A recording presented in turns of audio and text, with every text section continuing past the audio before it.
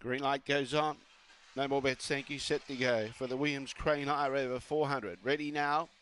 Away and racing from the inside, beginning okay with Shadrach. Bold Harrow showed speed and got across and found the lead for the late male followers. Chasing out after was Shadrach. Third placing, Jedray Muzzletop. Behind those, Mullen is starting to make ground. They're getting closer to this leader, at least Shadrach is, and goes up on the inside of Bold Harrow. Bold Harrow had a kick though. Bold Harrow kicked strong. Bold Harrow too good. Gets home for late male follower. Second, Shadrach. Third placing was Mulan. Fourth placing, either Argyle Franklin or Mia Crazy. Back behind those in second last placing was Jedray Muzzletop and Villa Maldini at the tail end of the field.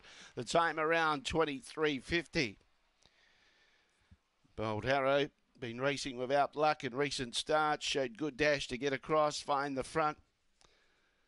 And has done it nicely with a 10.97 early split.